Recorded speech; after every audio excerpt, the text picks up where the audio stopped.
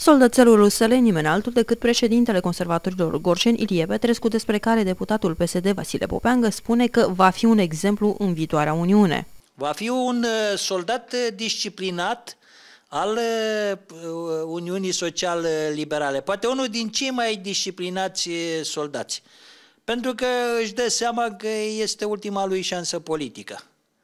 Dacă nici acum nu se întâmplă nimic, poate să își spun adio carierei politice și să se apuce de cariera profesională.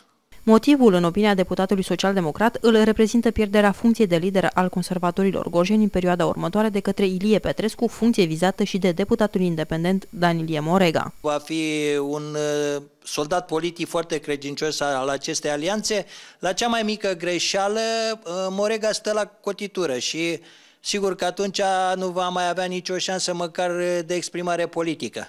Fiindcă așa cum uh, bănuiți și dumneavoastră și cum uh, circulă pe surse, uh, Morega stă la cotitură să vină președintele organizației județene APC-ului, așa încât îl sfătuiesc pe domnul Petrescu să ia act și de această strategie.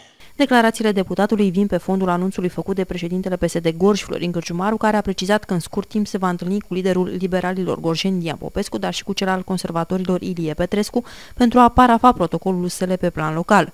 În urmă cu câteva zile, președintele PC Gorj, Ilie Petrescu, declara public că a avut o proastă colaborare cu PSD pe plan local și asta în condițiile în care la București liderul său pe linie politică semnase deja acordul cu PSD și PNL.